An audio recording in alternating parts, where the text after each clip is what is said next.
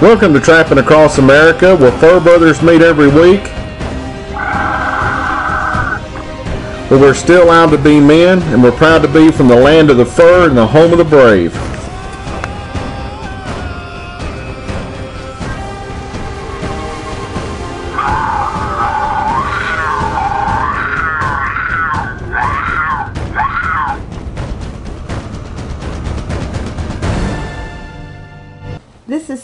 Locklear, and I'll be your host tonight for Trapping Radio. And I thought we'd, Clint, I thought we'd turn the tables tonight, and I would maybe interview him. oh boy. Now, I- and I'm telling, I don't know what these questions are, so hopefully this doesn't lead down the wrong road.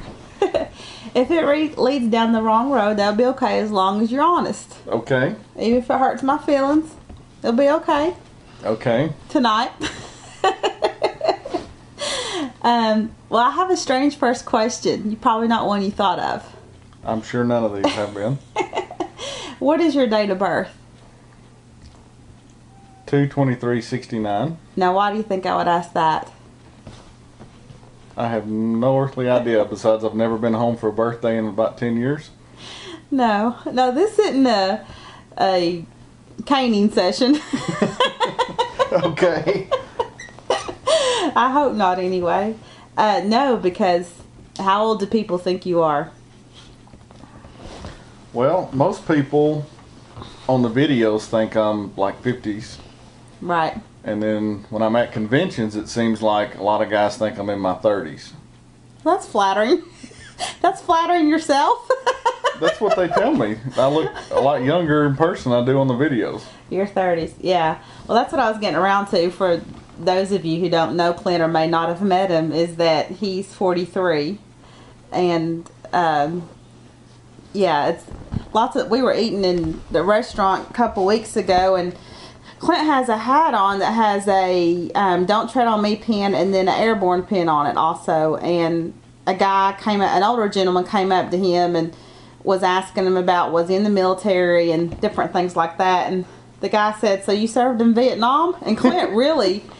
It was so far fetched from Clint's mind that he just said, said, "Excuse me, like surely I heard you wrong." That's what I thought.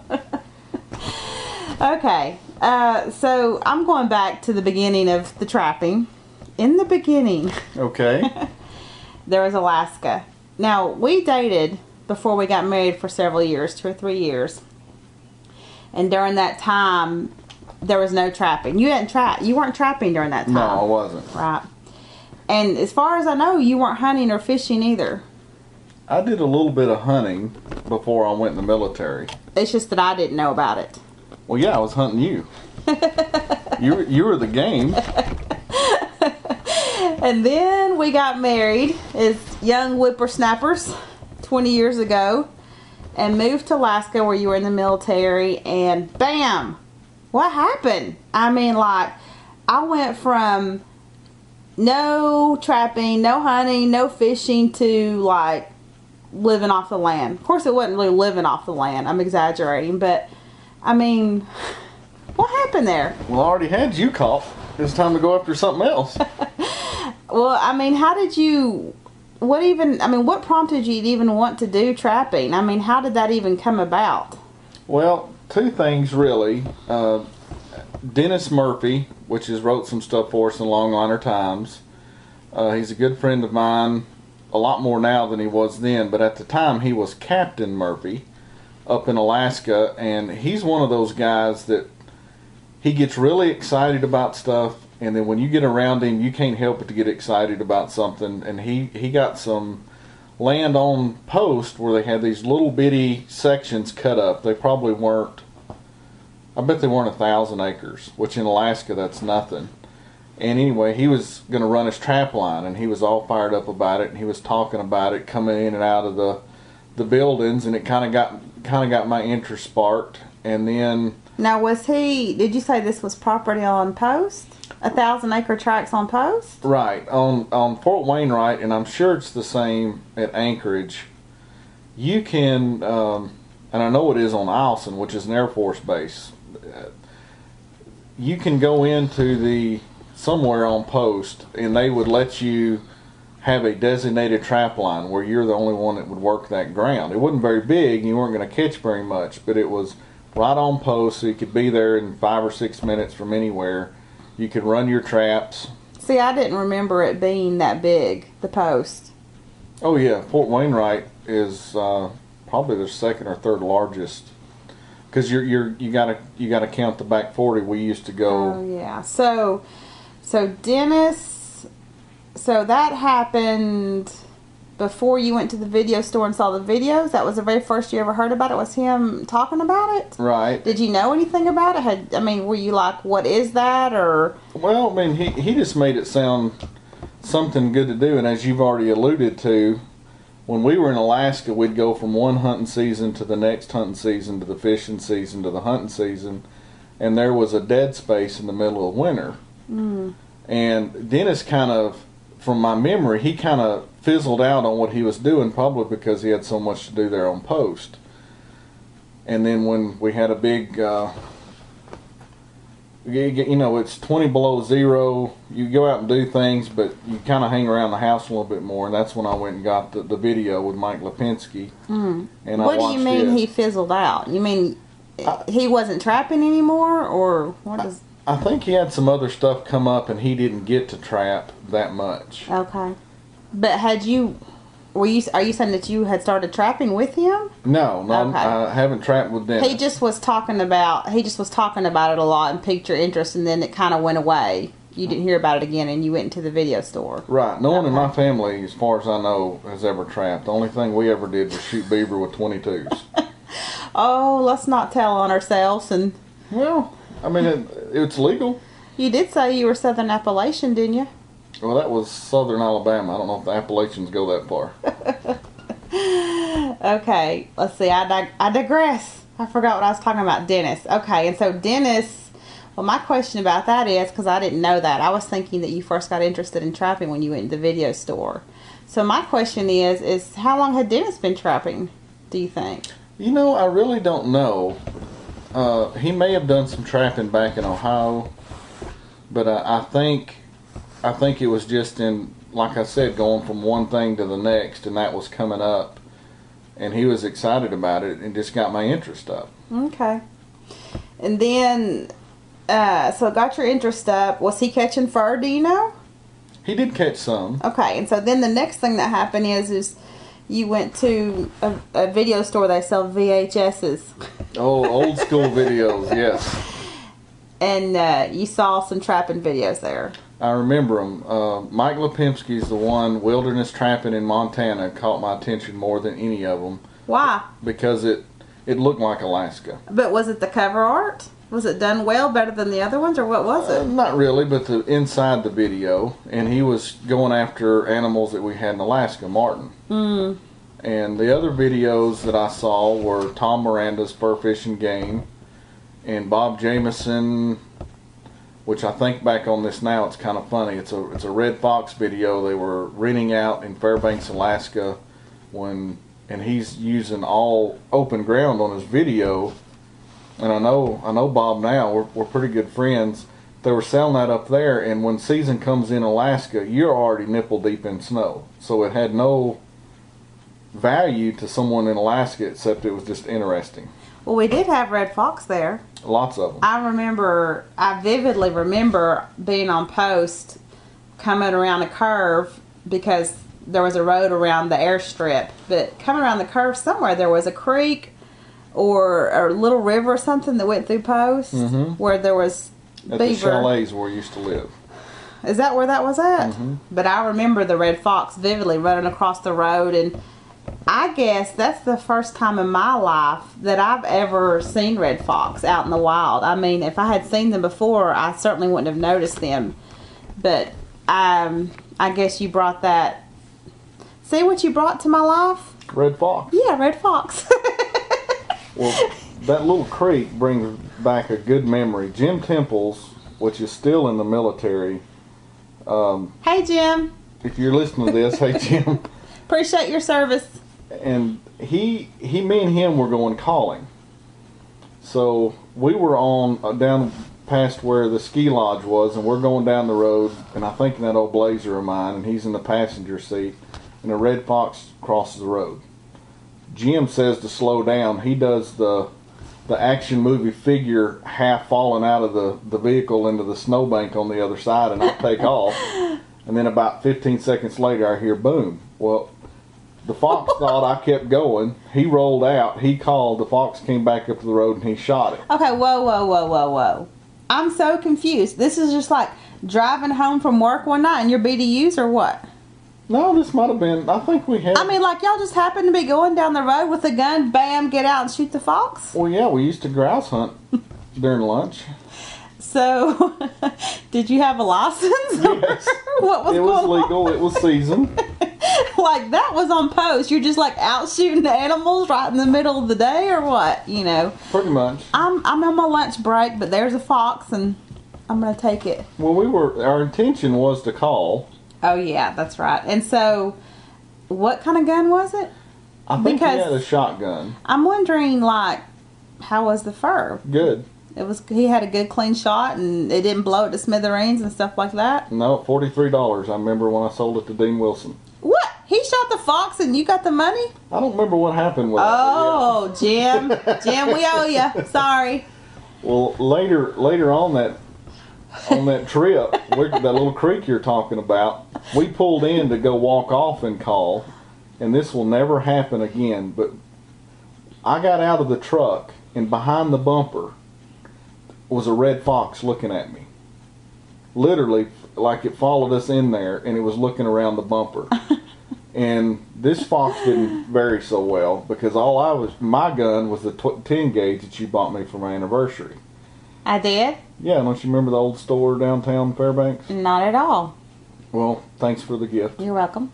One of many guns, One of anniversary birthday guns. you let me have all the guns I can hide That's right.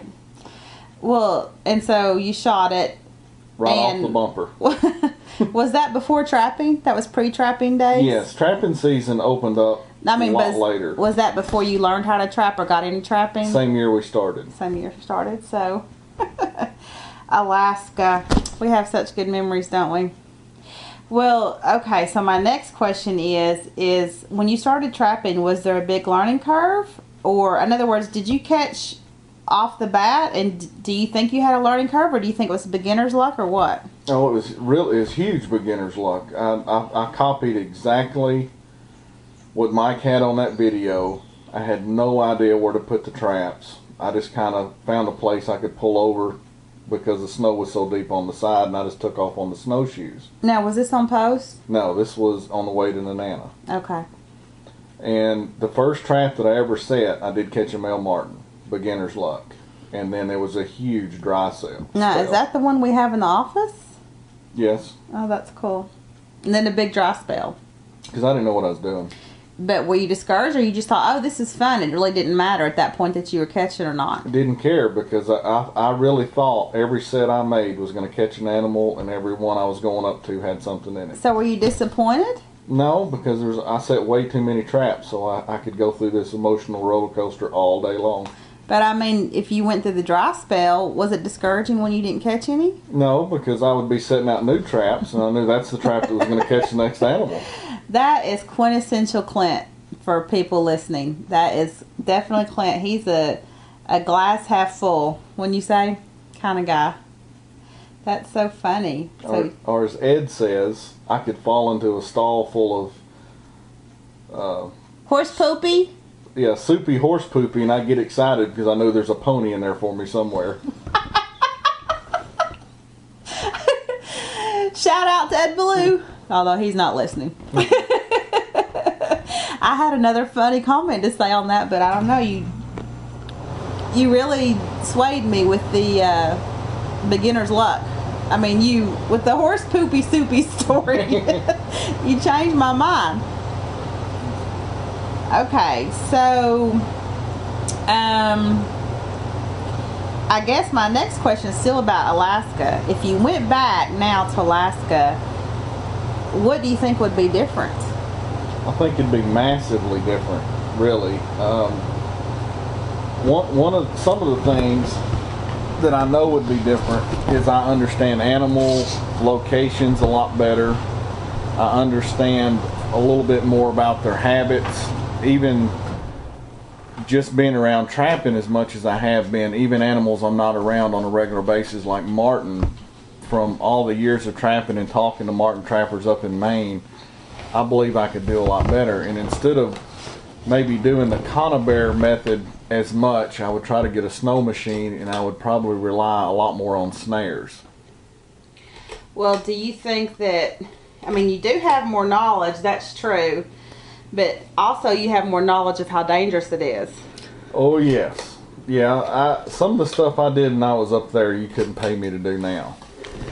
Because it's true you have more knowledge about trapping, but you know you just young and dumb. And lucky, very lucky. Alrighty. Um. So then, when we came back to the lower forty-eight to Tennessee around 1995, at that time, did you continue trapping? And Don't you remember? No. I mean, I remember the pool business. That's all I remember. Okay. To, to set the story straight on me coming back to lower 48, we've got to we've got to stop off in the Canadian Rockies. Well, there's several stories there. Which one are we going to talk about? are we talking about the Beverly Hillbillies? Yes. Okay. So it was it was it was still trapping season. We left in February, I believe. January. January. January of 95. So I knew We drove out yeah, we drove in a little S10 Blazer pulling a boat full of traps and, And- stretchers clothes and and no telling what else. because you know why Well, I thought I was going to get over on the army and make some money. oh yeah because they pay you by the weight to move so we were going to load down the s10 load down the boat which we did and pull the boat and we were just going to make a killing weren't we Yeah, and we weren't so lucky on that. well, we're coming through the Yukon territory, and we started hitting a lot of the the uh, mountains yeah. Well, it was starting to get hills, and the S10 could not hardly pull the boat up the hills. So I'm stopping along the side of the road where they have those little dump stations, and I'm shoving wood stretchers and everything trying to lighten the boat. uh, wouldn't the green people have a fit today Well, I don't care about them. oh i know but can you imagine on the side of the Oh, they were garbage cans I was putting them in. Well, yeah. I know, but you it would like be stopping at a rest area and just unloading a dumpster full of stuff. Well, we, we couldn't we couldn't pull it. No, we sure couldn't. So we're we're somewhere in the Canadian Rockies. And this is when we were still young and dumb. Yes, Okay.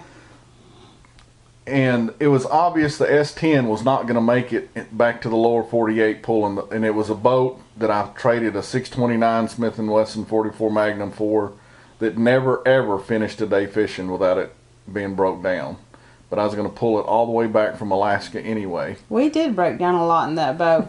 every day. We had that that tow line was well used. Yes. So we're sitting at a, a little cafe. I'm discouraged because I realize I'm going to have to leave the boat and all the traps that I paid for in Alaska. Yeah, we're like at a cafe at the window looking out at the boat loaded down with stuff like like two kids with their hands raised pressed against the glass and their nose pressed against it with tears coming down their face looking out at their, you know, beloved puppy or something. That was you and me. So I, I kind of asked behind the, the, the, the guy that's running the place, you know anybody that wants to buy a boat or traps? Which of course they can see. They can see them. Fully loaded. And there's a guy, there's only like three people in there, and one of the guys at the window goes, What do you want for them? and I and I didn't know. So what we sell them for? Five hundred dollars boat traps. Trailer, clothes, everything. Yeah, we don't even know what was in the boat. a boat full of as much as you could pack in it. And Mm-hmm. the funny thing is, I think that that probably happens every single day that someone from Alaska to United States or United States Alaska in the middle of winter is driving through. They probably He made a killing. yeah, what's that? You know, like the the shows on TV, Storage Wars. That's probably what he's doing with our stuff and everybody else's. You know, he probably was like had a full. That cafe was just a front. It could be, but if you remember, I had a Trapper and Predator with us magazine. Before we got home, I called up Trapper Art in Wisconsin, bought a bunch of traps. Oh no, I didn't remember. You probably didn't tell me that. well, they showed up at mom's house. I would like wouldn't like, like I was hiding them. Traps have been showing up forever in my dreams.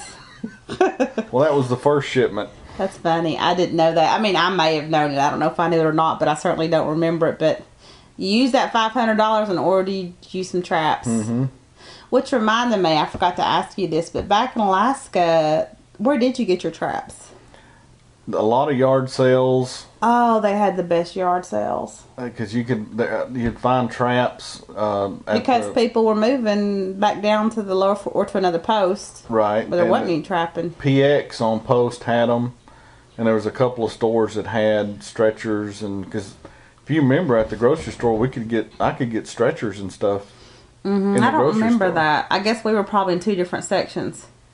Just like now, when we go to Sports Academy, I hit the clothes and you hit the guns. Right. And then when I get done with the clothes, I go over and look at the guns too. Mm-hmm. Okay, so was that the end of the Hill- Beverly Hillbillies loaded down? Pretty much, yeah. I sold. Pro- we probably sold three thousand dollars for five hundred, and I Yeah. spent that to get traps so I could trap Yeah. as soon as I got home. And we had a cat with us, Sam. Yeah, Mm, made yeah. the trip and didn't make it afterwards. Nope, that was if you've ever driven through Canada in January at sixty below and had a Himalayan cat crying the whole way. It's an experience. Good memory, Alrighty, so we ready to move on to ninety five? I guess. what happened in '95? Well, that's what I'm wondering. So when we came back, uh, apparently you did continue trapping because I'm trying to remember if you trapped the whole time or if you got started back into it more fervently at one point, or did you just continue to trap? I just continued. You don't. Re- you don't remember we would drive from Georgetown. I would drive from Georgetown because I had permission on one Beaver Creek okay. in a in a, a little swamp that had muskrats. It was probably an hour away. mm-hmm. And then I would try to convince you that I was making money because I'd come back with a beaver and two muskrats. You always been trying to convince me you're making money at trapping. Well, I know it, but even then, it was even it's more ridiculous when I think about it. but gas was only eighty cents a gallon. I mean, I, I knew you were trapping. I just don't, I don't, in my mind, looking back, I don't remember if there was ever a lull or not. That was my question. I couldn't remember. No, I mean, I knew where your trap lines were and stuff. no, because I trapped when I was at the sheriff's department. Then I trapped before and after when I was working for the other pool company. And so when you got down here to trap, was it real, did it seem very different from Alaska or not really because you just still didn't know that much information? Didn't seem hardly any different. You just still a trapping, still putting out traps. Uh, yeah, but there was more information in the magazines and stuff like that for down here. That makes sense. Yeah. Well, okay. So another question I have is that um, I was going to ask a little bit later. This kind of seems like an opportune time because just the differences of how you and I remember things is, uh, as you know, you know, but people listening may not know. Some of them probably know is that I don't trap myself, Mm-mm. and I've never really been into trapping that much, and I've never, um, although I've supported you and what you want to do, it's just held no interest to me personally. What's that been like? Has that been difficult? No, no. I mean, oh, now come on! We said we were going to tell the truth. I am telling the truth. I, you know, there, there's something that's kind of intriguing about girls that trap when you think about that, but at the same time, I'm not sure I want to lay down with someone that probably has aftertones of red fox and coyote smells in the evening. Hmm. A girly smells a lot better than a trapper smell. Well, believe it or not, people do take baths every night. Well, they may. because lots of times people when you're gone you know on your trips either to conventions or trapping for long periods of time and i answer the phone people will start out and they'll say you know is clint there and i'll say no he's not you know he's not here right now can i take a message or have him call you back or is there something i can help you with thinking they might want to place an order or something and they'll say, Well, I have this problem, or let me tell you about this situation. And I'll say, You know, I really don't know anything about trapping. I don't trap myself, um, but I'll, you know, Clint will be back in a week or six weeks or two months or a day or whatever it is. You can call him back then and he'll be glad to talk to you. And they never believe me. They just keep right on asking with their question. They just think that I know. So, Maybe you sound like a trapper. do you know how many of your videos I've watched? None. That's exactly right, which is probably surprising. Not really. I don't hardly watch them. I don't mean surprising to you. I meant maybe surprising to other people. Because that's another thing they'll say. You know, in the video at so and so point. Sometimes I should just say, "Yeah, uh huh, I know what you're talking about," and I always say, "No, I really don't know." Alrighty. Um, let's see. What is it about trapping that when, like, when you got back down to the lower forty-eight? that was just so intriguing to you that you just continue to do it. I mean, there's been lots of things in your life that you've had interest in and have done. But what is it about trapping? Why do you think that stuck? Not right now, but especially thinking back in the first five years or so. Why do you think that stuck? What is it about trapping? Well, I think a lot of it had to do with I was determined from the beginning that I could make decent money doing it, and I was determined to figure out how to do it. And in that process, the learning part of it just really grabbed a hold of me. And the more I learned, the more I realized I didn't know, even though I was making, you know, after uh, several years, I was making really good catches. But then I would learn stuff that would really rock what I thought was a fact, and it wasn't a fact, and then it would just continue on. So it's a, the learning part of it to me, learning about the animals and how they react or how they don't react or where they're going to be or how you got to change up from different seasons or what their food sources are or how they travel through a landscape at a certain time. All that is different, and it's not something that you can just you know, pick up from a magazine or a video, and it's constantly learning. You know, the way I figured it, about the time I have half figured it out, I'm about ninety years old. well, yeah, that's what I was wondering when I was thinking about this question. I was thinking about, you know, was money a motivator, spending time outside, relaxing, but it's funny you mentioned money first and then because you needed the money or wanted the money you had to learn how to to get the money, and then you got caught up in the education part of it and the animal itself. You know. Right, right. Because so. a lot of the information from when you, especially when you're starting, you're so caught up in this set or that set or this trick or that lure or this trap but you forget about the most important thing about it and it's the animals right. our nature and then when you start learning that aspect there's just so much to learn well, and there's nothing wrong with concentrating on the set and the trap first because that's all you know and that's before you. It'd kind of be like, I guess maybe it's a natural progression to think about the trap and the set and the location first before the animal because maybe the other way around just wouldn't be natural as far as trying to get in and learn about trapping. Mm-hmm. So, remember when we needed money for our rent? Which time? well, I, tried, I was trying to remember. Was it rent or mortgage at the first sale early oh, on? Oh, that was terrible. Was that rent? Was that when we lived in Mike's house? Yeah. No, or, that was Frank's house. But yeah, okay, so we weren't paying a mortgage yet. But we were a young couple because you know Broke. we're still a young couple, right? We're still young. Yes. yeah, we were. We needed money and you were trapping. Mm-hmm. Heavy, we heavy. thought at the time, and it really was heavy. And you were you must have been working then too.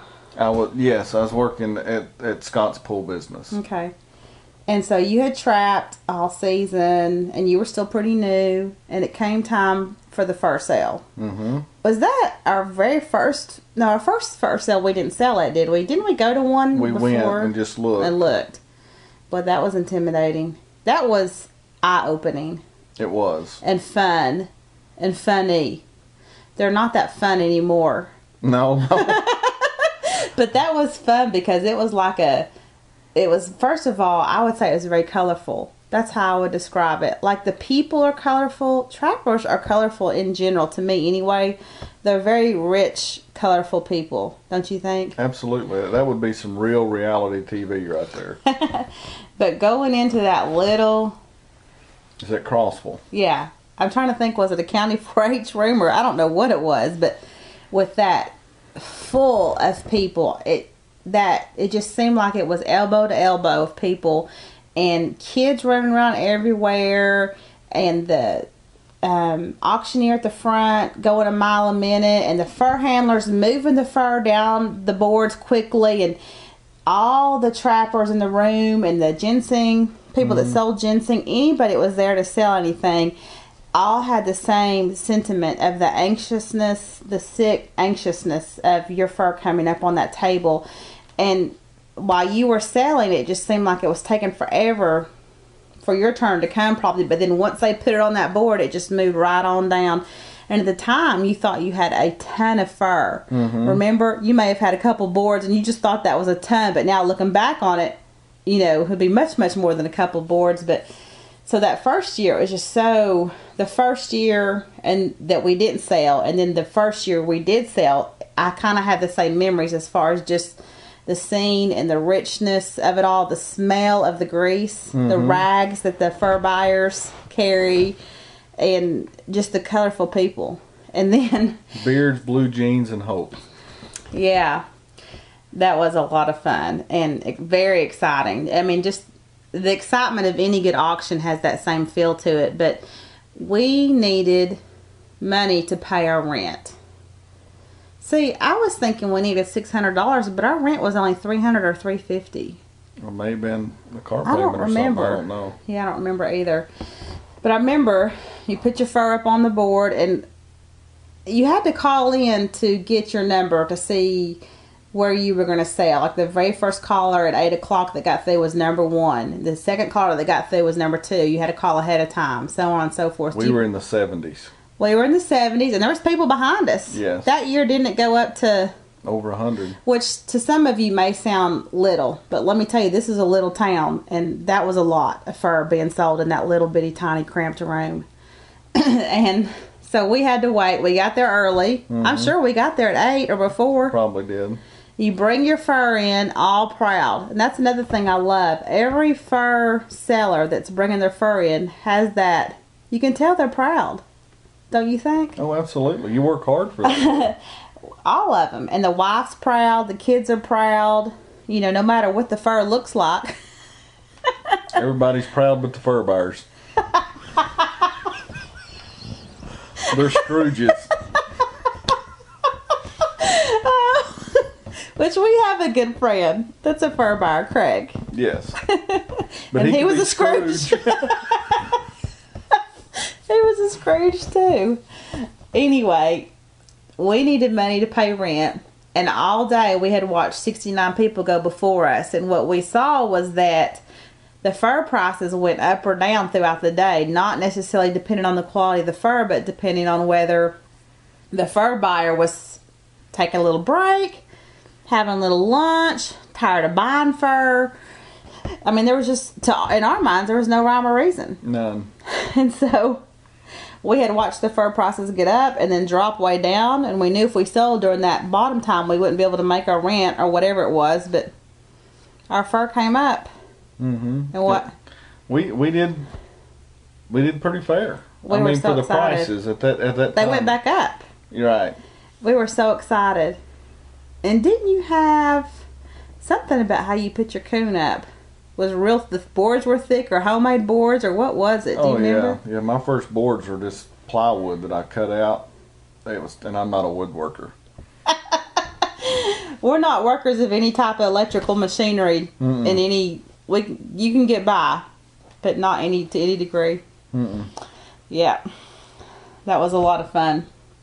Did you have any local influences? Say, looking back that first five years here back in Tennessee, was there anybody local that influenced you? Well, there was actually the. I started going to the Tennessee Fur Harvesters state conventions, and it, as in most things, things just change over time. But there were several people there: Keith Harker Road, Jimmy Young, uh, a lot of people like that. And I was new to it, and they were kind of new to it.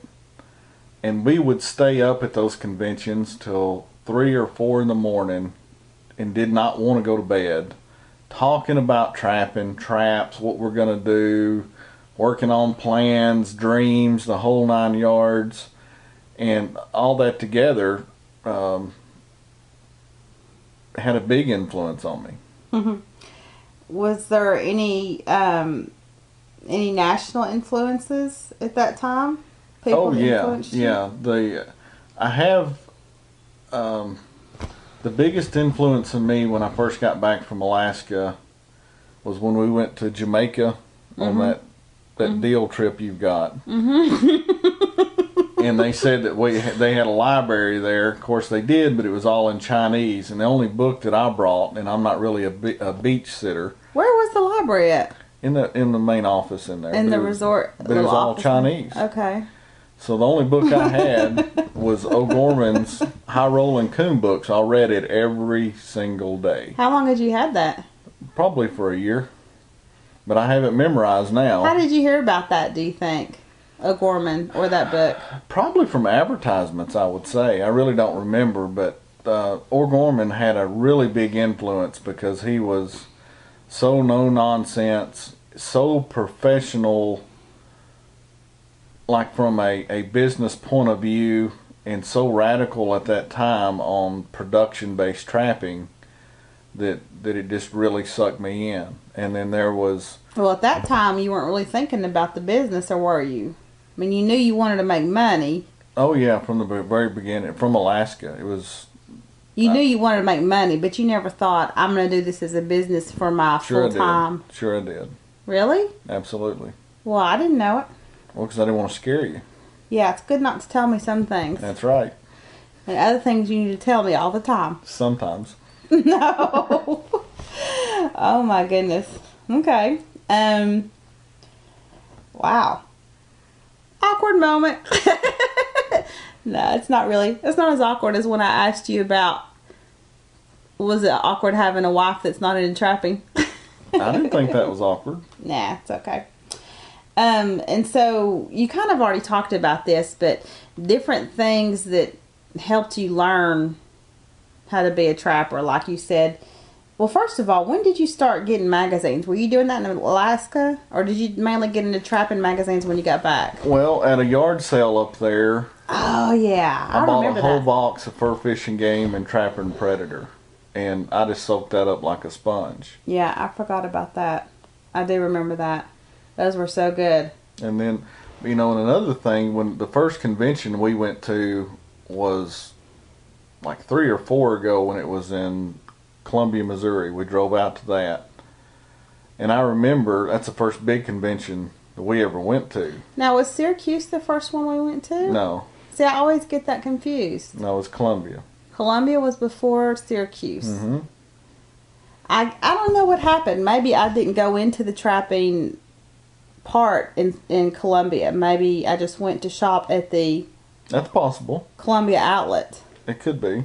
because in my mind, which I have, I want to talk about in a few minutes. I vividly remember Syracuse, but Columbia was our first one, and so you were saying we went there and. I got to I got to talk to a lot of different people.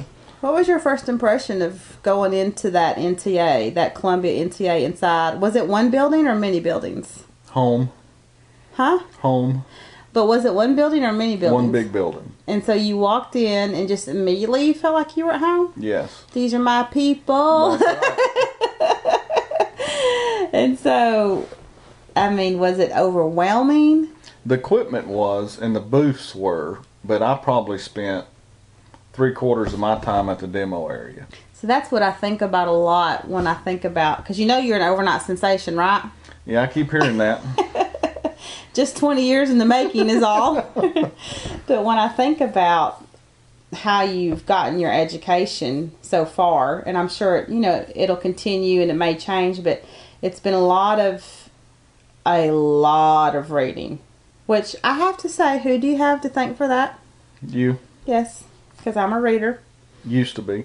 I still love to read. I'm just worn out by the time I get in bed. Okay. But uh, you've done a lot of reading, a lot of magazine articles. Mm-hmm. I mean, read a lot of magazine articles, a lot of demos, both on the local level, especially when you're just starting out as a new trapper. Those local free at your local weekend conventions, They're priceless. yeah, they are priceless. And um, national demos, you learn a lot from, even though you don't understand at first. You just keep going and going, and you just like build a library in your head. Just all the information you can get from everywhere. Personal instruction, Right? Took a lot of personal instruction. Right. What was some of your favorite? What was your favorite personal instruction, or what are some moments you remember from some of your favorite personal instructions? If you got a couple different ones. Um. Well, O'Gorman. Well, there's two. Well, there are actually a lot of them. But um, when I went, the first one I did was Craig O'Gorman. I drove all the way out to. Now, didn't you do what's his name first? Up north. No, I went to O'Gorman's first. What was his name? Ron Leggett. Yeah, Ron Leggett. I went. I went out to O'Gorman. Had that red Ford truck. No money. There's That was a common thing. no money. I mean, I was literally eating ramen and using coffee pots in the motel to heat the water. That's that was the budget. It was gas. That was it. and I went out there. Of course, you go you you go into Broadus and you ask where Craig lives, and it's such a small town. They tell you where he is, and you go there. Dana comes out, and uh, you know His wife. his wife, a real nice lady. She comes out and basically says uh, he'll pick you up at the motel, and that's pretty much it. So you go back to the motel and you can't sleep, thinking about whatever's going to happen. No, at that time you go back out there in the morning, and, They know how to build the anticipation. Oh, those absolutely. O'Gormans. and it, if I remember right, it started at 4:30 or 5:30. Insanity. I mean, the middle of summertime. That's not insanity. We get up here at five to five thirty to go walking before work in the morning. Well, my instruction starts at eight. I like I like the morning early, the morning hours, the early morning hours. I like it, Mister O'Gorman. So you pull up to. I never forget this. I, I didn't, for one, I didn't know he was as tall as he was. I was the boots and the hat. Well, he, he's he's like six seven without either one of them. I know. I'm Six, just six, I'm six, just. six. We're putting to bed the fallacies. And you pull up to the the you park, and he's and I know all this had to have been planned. He's got this big picture window on this log cabin, and he's sitting behind the thing. He's got his big black Stetson on at the breakfast table. And you go in there, and Dana, you know, you do your pleasantries in You the mean morning. he's like standing at the window with his legs braced apart, his hands on his hip, and No, his spurs he's just on? sitting at a table. but you can see him. You know, you've already driven 2,200 miles to go visit him on no money. on no money. And you go through his his kitchen and you talk to Dana, then you go in there and he, he wears these logger boots. So he's six six. He's got three inch heels on with those logger cowboy boot things. So now he's six nine. He's got this Stetson hat on. See, I just have images of Prince. No. I he's know he's very not. unprincely. I know he's not, but you know Prince likes the high heels too. Logger boots are not high heels, but they are. Yes, they are. No, uh, Anyway, we know Craig's tall without the logger, without the high heel Prince logger boots. so he stands up, and all of it between him and all the gear he's got on, he's like seven three. So now I'm picturing like Roland from uh, The Dark Knight. You know, Stephen King. Sort of. he he could probably play that role. And you know, and it was just it was such a shock because I'm not used to looking up to people physically, Physically, right? and and it, it, it was down. You know, he was very nice, but he was very businesslike, and it was it's just seeing that country and the smell of diesel fuel and burnt sage when you drive over to something I'll never forget. Well, and what a beautiful country. I mean, I've never been there, but I want to go. Not to O'Gorman's, but I mean, I want to go out there to that area of the United States because, We can move there. well, we can. We can talk about that off air. Okay. We're keeping this all friendly. Okay. When we when people see us at the NTA, we're gonna put our arms around each other and kiss. Okay. Okay, act like we're in love. Well, the when I went to visit uh, Ron and Pete Leggett, when I took instruction from them, I was coming back from a coon trip up in Michigan, and I rolled in. And it was about six six thirty at night to the to the farm, and they they skin this little bitty white block building. There's probably about ten cars there. So I'll pull up and I've got the trailer and the freezers and all that, and I pull off the side, and I can see that's where everybody's at. And I open the door.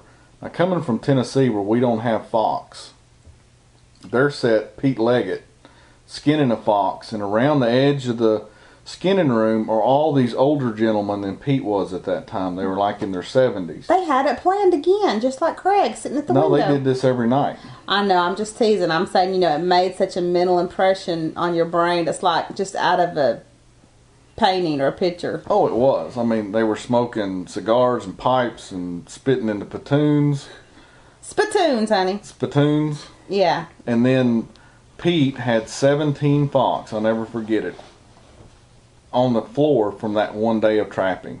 That's so cool.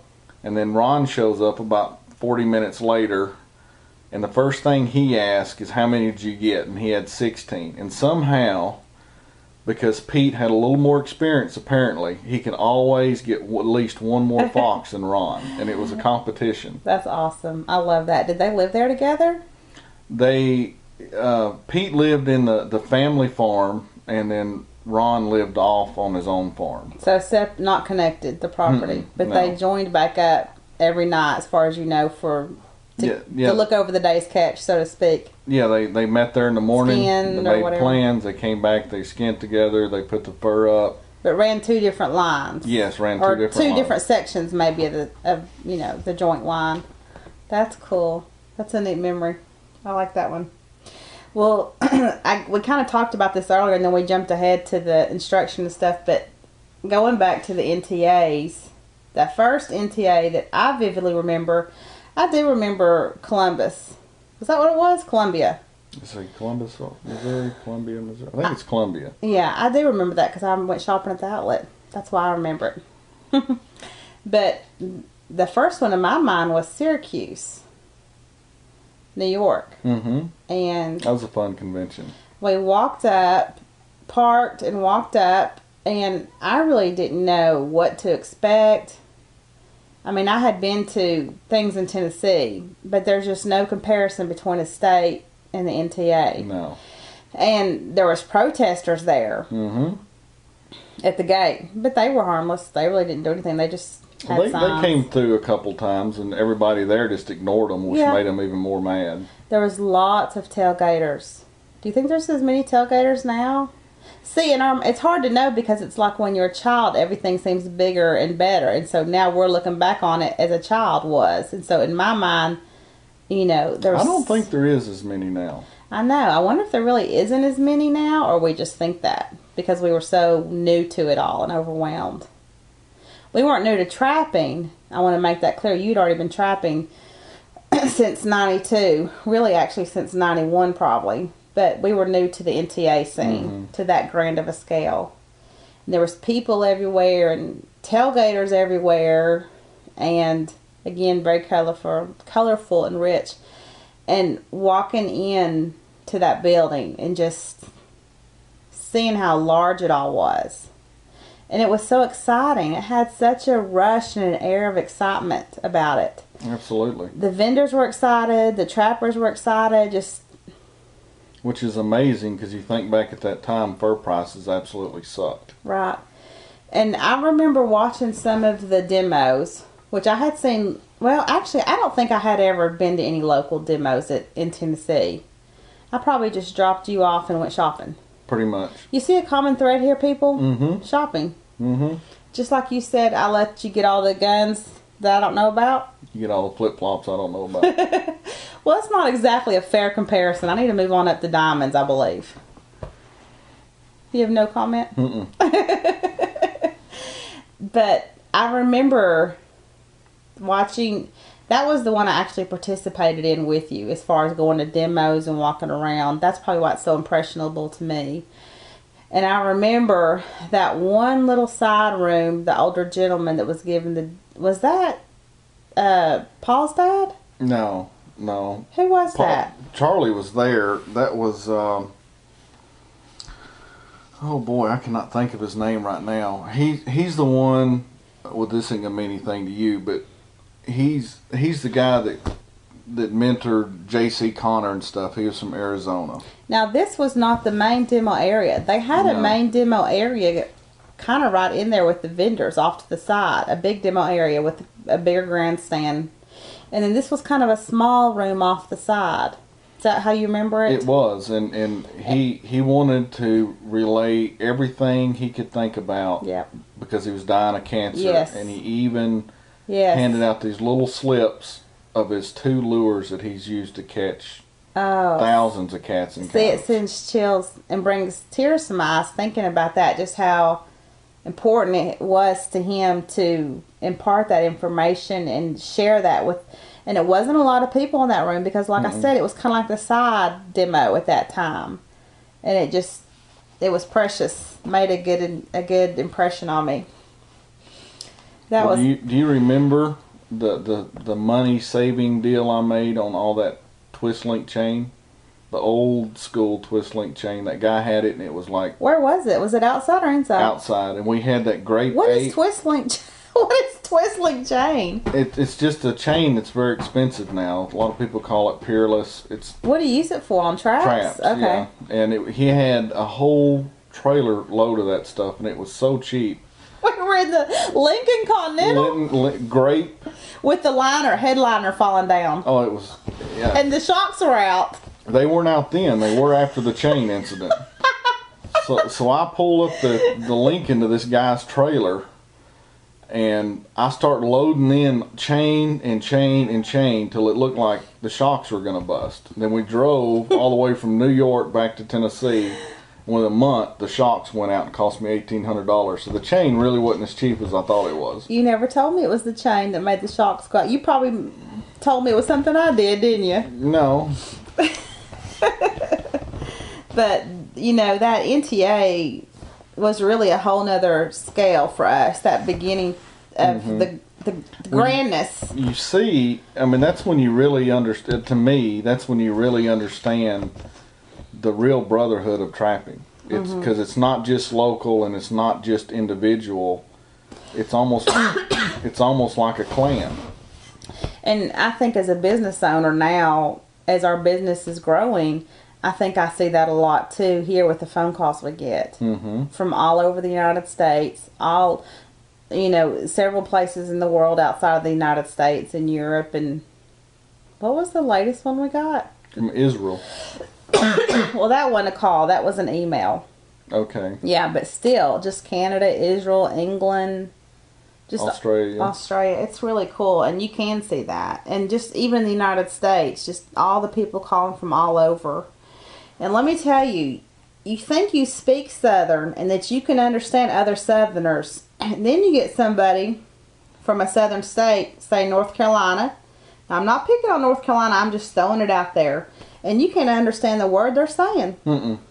Probably like people listening to me. It just dawned on me. It's possible, but keep going. Okay.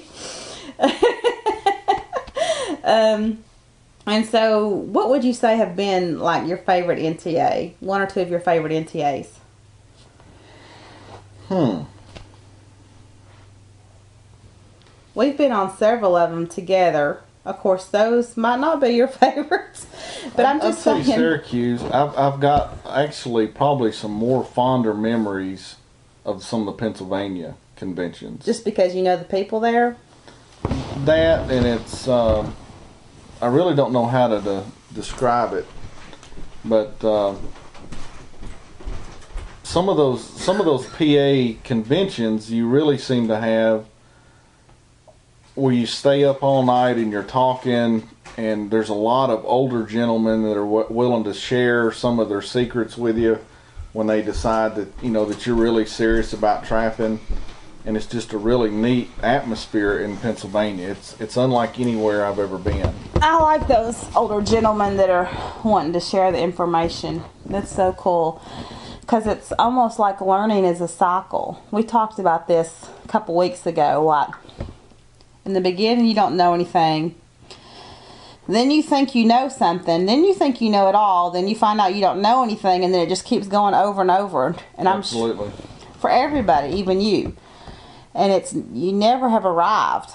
Never.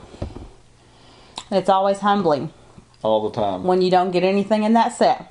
All the time. Um, and so, I guess one of the questions I had was thinking about earlier is what prompted the transition between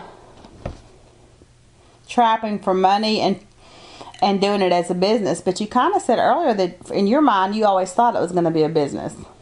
Yeah, I mean, from from the very beginning, it was. That's what I was always shooting for, and part of it was I kept hearing people say, "You can't make money at trapping," and I just couldn't stand that. Absolutely couldn't stand that, and I was determined to find a way to make a living trapping. Right now, what is your favorite animal to trap at this time in your life? Well, I'd say it's going to fall between two, and I haven't done one of them in the last couple of years, but it'd be otter and bobcats. Really? hmm I mean, I would guess bobcats, but I wouldn't have guessed otter. I know you've caught tons of otter, but you just haven't been on it as hot and heavy. Well, it's because of our business, Right. doing predator control. But otter's one of those animals that they're so sporadic, and when you start learning about them, it's it the their habits and the way they move their territory. It's just a never learning process that, and and trying to figure out how not to miss them is just fascinating to me. And they're beautiful. They they are. They're beautiful. What's your least favorite animal right now? Would you say was your, be your least favorite animal to trap right now? Least favorite animal? You know these complex, deep questions. Possums. Alrighty, there you go. Just drive down the road and hit those. Mm-hmm. Um, what would be your top three places that if you could trap anywhere you would that you haven't trapped before? I would like. I would like to trap probably the Red Desert, Where is that? Wyoming. Just Where is because it in Wyoming? Do you know? uh, on a map I could show you. I don't know exactly what's around it, but a lot of the old stories and a lot of the old Wolfer stories and stuff, they talk about it, and Craig's talked about it, and I've talked to people. You just have a picture in your mind of what it's going to be like. Never seen it, and it probably doesn't look anything like I Do you think it there's does. still a lot of animals there to be taken? as long as you, from what I understand, if you hit a year that they get uh, mange or some type of disease, it can be desolate, or it can be where they're you got Mm. Right. to almost fight them off. That'd be fun. Mhm. Where else?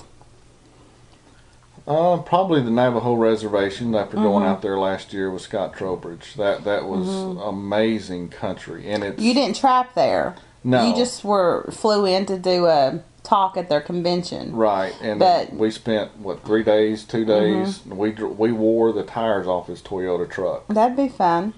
going from 9,000 feet to 5,000 feet. And it, and there's people there. I mean, there's the, the Navajos are there, but you, when you get back, you would think you were in the 1800s.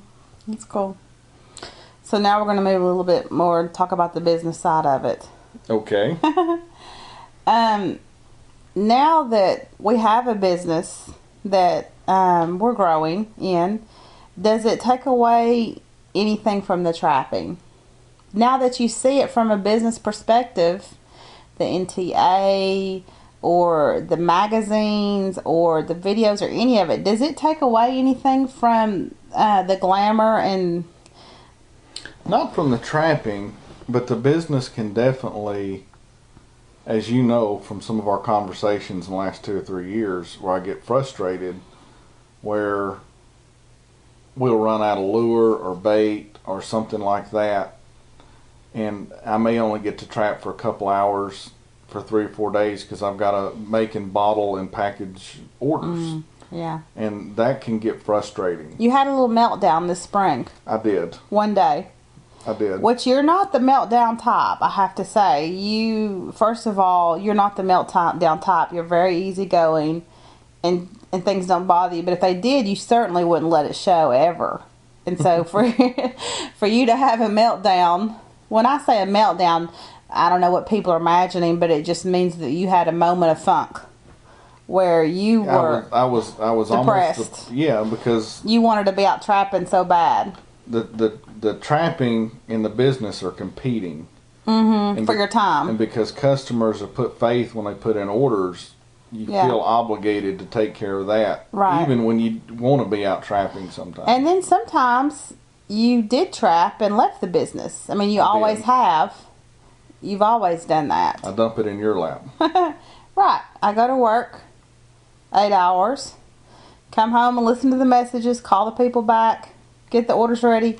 Toot toot. I'm tooting my own horn. I know you are. You deserve it too. No. Uh, okay. but um, it can be it can be challenging, I'm sure, because I just see it from the business point of view. I certainly don't see it from the trapping point of view, and I'm sure it can be challenging reconciling the two, you know. And also, I'm very less emotionally attached to the business than you are. Mm-hmm. And so, we look at things very differently because of that. Because to me, it is a business, and I have a 100% business mind about it. And to you, it's an emotional attachment There, also. there, there is a lot of emotional. I mean, you come up with the lures. You, you spend all the time on the books and the DVDs and the instruction and the schools, and then you get to really become close friends with a lot of trappers, and that can cause conflicts. You know, But we've, I just have to say how blessed I feel that we've been by trapping and the business and being able to earn a living from it and also from all the great friends that you've made through it and the people who buy our products. I just feel very humbled and oh, I do all the time. very humbled and grateful and it really is amazing you know well i'm very appreciative of that um would you change any laws in the trapping industry or which laws would you change Oh boy. yeah well maybe we should skip that for part two that might take a while because we've been going about an hour now We have. Yeah, you How- mean- How many more questions you have? well i've got a few questions about politics like that but in in in connection to that you want to wrap it up I, yeah, I guess if you got enough to do a part two, I guess we should. I don't really. I just have about four more, five more questions. Go ahead. Go ahead. Do you want to answer that one, or can we skip to some that are less lengthy? Um, well, let me ask you this then: Should there be regulations? Any I- I- regulations? Absolutely, Okay. there should be. Okay. But they, they need to be management based, not politically based like they are. Mm-hmm. That drives me crazy. The stuff with the wolves and lynx in Maine and and the See, that probably could be another 20 minutes because people, you would need to elaborate on that specifically what you're talking about. That probably could be a whole another 20 minutes right there about the what would you change on the regulations. Maybe we'll visit that another time. Okay. And also, I was thinking it, maybe it would be cool if people are interested in something like this again, which they may not be. They may be like, "This is it," but if they are, they could even send in questions that they'd like for us to talk about, me to ask you or you to ask me or whatever. Okay. Well, all all they'll have to do for me to know what those are is on the bottom when I when we when we post this show. If they just put those questions they want you to ask me under the bottom, Mm-hmm. Okay. I- you, you can go find them. Yeah, that would be fun. Um, you're a pet lover. Absolutely. How do you reconcile the fact that you love pets and or animals in general and are a trapper? Well, I don't see there's anything to reconcile. I'm, you know, I make a joke all the time about being an organic free range wild fur farmer, and that's exactly how I look at it. I don't think a, a farmer doesn't love or like his cows when he has them slaughtered, or or chickens or sheep or anything else like that, and because we do we do harvest the animals, I I think I probably have way more respect for them and would probably fight for them in some way or fashion way more than a a city dweller or someone that only knows wildlife through a, a an RV park or TV because mm-hmm. it's it's I'm more intimate with them. Right. Well said, hon. What would people be surprised to learn about you? Just in general. It could be something to do with trapping, or it may not have anything to do with trapping. What would really surprise most people? What? Probably the painting. Even though I oh, haven't done that in a while. Oh, That's right. You're a painter, and you do. This is how I would describe it. It's very bright, um, impressionist style painting, but with bright colors, and so. Um, and it's not wildlife looking at all. You you may paint wildlife, but it's very reminiscent of the impressionism with the thick paint. It's beautiful. That's true. I was thinking about how funny you are people i mean people that sit around and talk to you at the conventions know that probably but just the everyday people you saying I'm Larry the Cable Guy Trapper? no way no but just you know how funny you are and it's interesting because i'm sure well i know people have a certain persona they think of a certain that you are a certain way maybe like you did with o'gorman but you're actually not really that way and of course he may not be either but. I mean, I wouldn't say you're not that way. I'd say, you know, everybody's multifaceted, and it's not just the. Renaissance redneck, as you call me. Yes, I do sometimes. My Renaissance redneck. But I, you know, that would be. Which is good. Um, I guess what I would say sometimes is, you know, that saying about, uh, to wrap it up, you know, that saying that speak softly and carry a big stick? That kind of reminds me of you. I don't know if that's good or bad, but um, you come across as very Or a Kim- bold. or a Kimber 45. Yes, or carry a Kimber 40. Speak softly and carry a Kimber 45. I like that. I'm going to put that on Pinterest. Okay. I think that's a good one. If I could just put it up at work.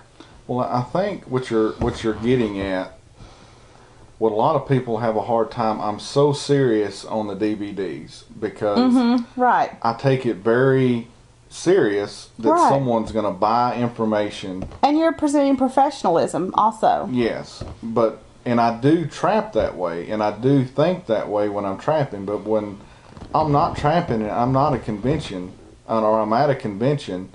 Why in the world would I still have that same mindset when I'm just around friends? And that same intensity to your voice and loudness of Yeah, your I mean, voice. there's and- no reason for Right. that, but because I'm not trapping. Which I wasn't asking you to explain because we've not talked about any of these questions ahead of time. I wasn't asking you to explain. I just was saying, you know, um, you're also kind of a gentle, a gentle giant, you know, which is cool because you. It's like speak softly and carry a 45. I like that, but I'm really proud of you. I'm proud of everything you've done in the trapping business, and uh, I love you. And maybe we'll do this again if they like it.